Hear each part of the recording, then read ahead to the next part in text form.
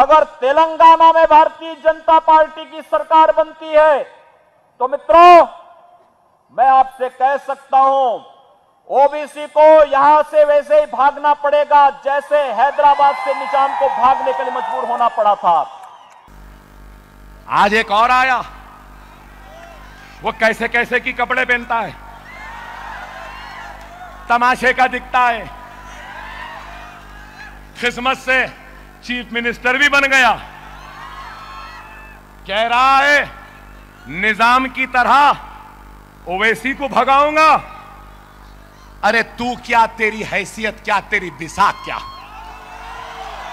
तेरे जैसे छप्पन आए चले गए। अरे ओवैसी तो छोड़ो, ओवैसी की आने वाली एक हज़ार नस्लें भी इसी मुल्क में रहेंगी, तुझसे लड़ेंगी, तुझसे मुकाबला करेंगी, तुझे भगाएँगी, हम भागने वालों में से नहीं है। क्या भागे? भागे? अरे मालिया भागा, ललित मोदी भागा, मेहर चौकसी भागा, सब लंदन भागे। भागने वाले होते तो लंदन से यहाँ नहीं आते।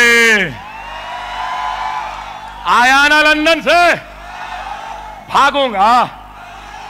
अरे ये मुल्क किसी के बाप की जागीर नहीं है।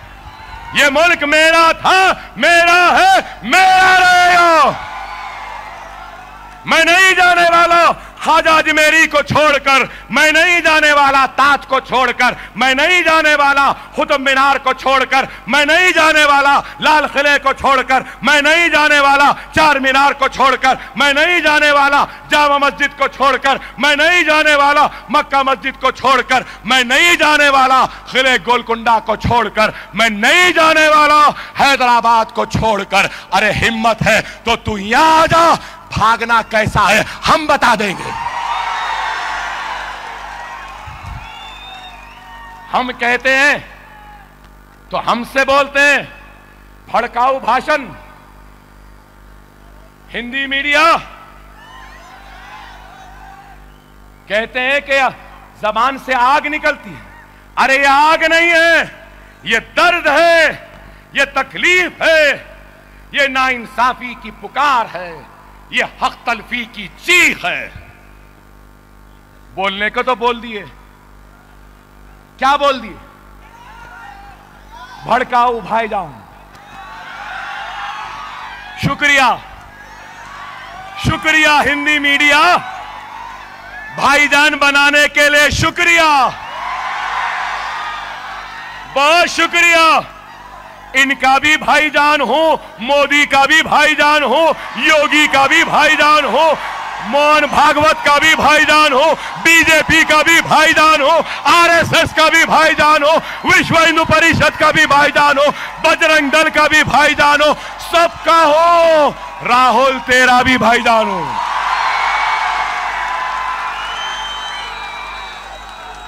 हो ना? हम बोलते हम बोलते बोल रहे ना? ए मीडिया, देख, आज दिखाता हूँ तुझे, बताता हूँ तुझे कि सिर्फ़ हैदराबाद में अकबर ओवैसी बोलने वाला नहीं है। अकबर ओवैसी के साथ ये हैदराबाद भी बोलता है। सुन, मैं तुझे सुनाता हूँ, मैं तुझे सुनाता हूँ। मैं इनका भाईजान तो ये मेरे क्या मैं इनका भाईजान तो ये क्या? मोदी मेरा क्या? योगी मेरा क्या? आरएसएस मेरी क्या? बजरंग दल मेरी क्या? हाँ अब सुने। एक अकबर ओवैसी खत्म हो गया तो कोई गम नहीं। एक हज़ार अकबर ओवैसी है इस शहर में। हमें मत छेड़ो। मत छेड़ो। चाय वाले। चाय चाय चाय चाय बोल रहा है। हमको छेड़ मत। याद रख, इतना बोलूँगा इतना बोलूँगा कि कान में से पी बहने लगेगा होन निकलेगा। तुम मेरी आतिशनुवाई का मुकाबला नहीं कर सकते। बड़े बड़ों को मैं तो बोलूँगा कि गूंगों को भी जबान देने वालों का नाम मजलिस है। आज हमसे मुकाबला, हम क्या करें?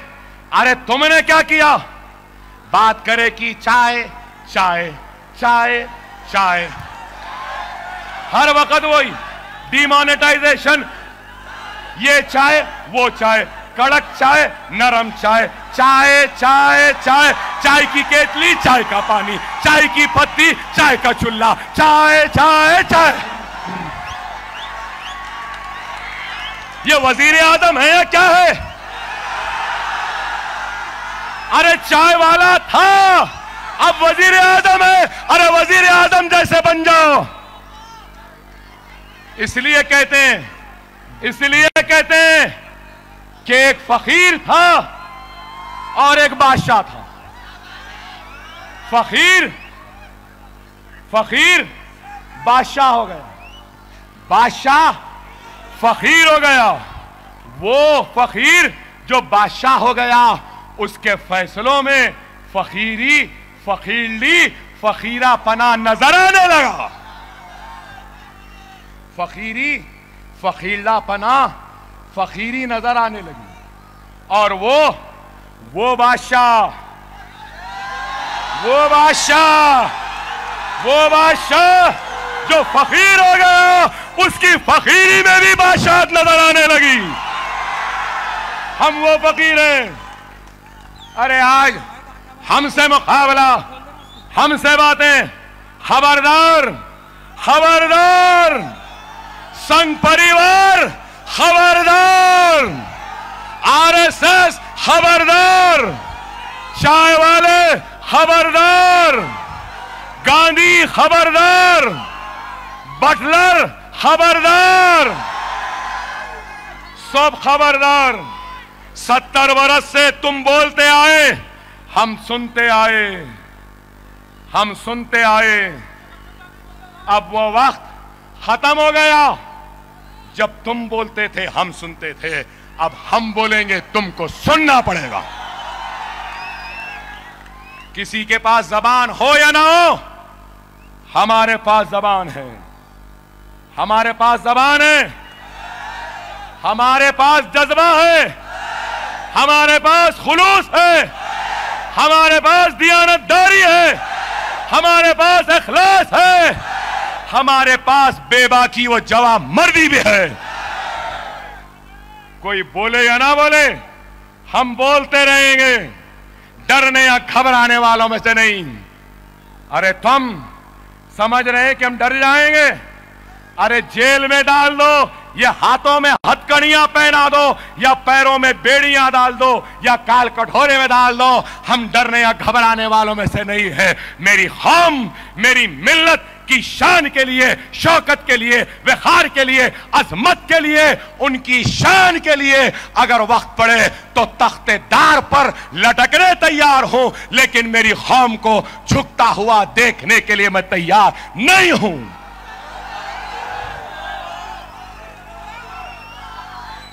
आज हम पे इल्ज़ाम लगाते हैं। अरे क्या करे?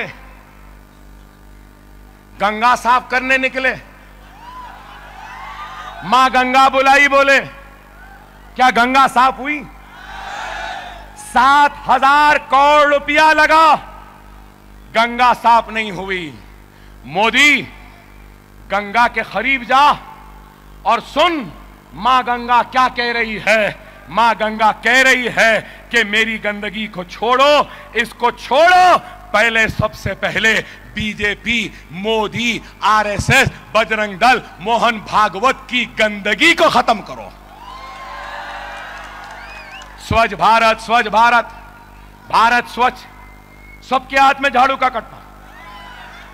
हमारे भी बहुत लोग लिए। मैं नहीं लिया, मुझे देते हुए देखे। नहीं लिया कभी। कभी लूँगा भी नहीं, क्योंकि मेरी नज़र में मेरा इंडिया, मेरा भारत, मेरा हिंदुस्तान साफ़ है। यहाँ सबसे बड़ी गंदगी अगर कोई है तो वो बीजेपी की सोच है, वो नरेंद्र मोदी की फ़िक्र है, वो आरएसएस की आइडियोलॉजी है। पहले इस गंदगी को साफ़ करना, इस गंदगी को साफ़ करना, और ये गंदगी को साफ़, मंजलस करेगी मंजलस करेगी। 2019 में मैं तो फकीर हूँ, झोला लिया, चला जाऊँगा, बोले ना?